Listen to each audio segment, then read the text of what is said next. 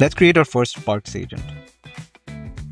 All we have to do is click the Create Agent button and type in the name of the agent.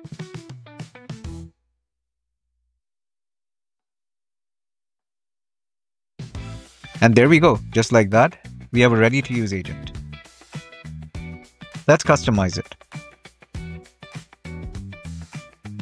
You can give your agent custom instructions and also equip it with any of the top AI models. You can also give it agentic capabilities, such as the ability to spawn its own subagents or schedule itself.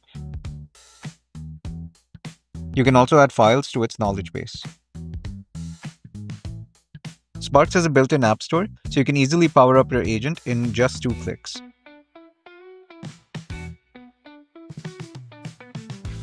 First, we'll give SlideCrafter a Files app so it can generate presentations.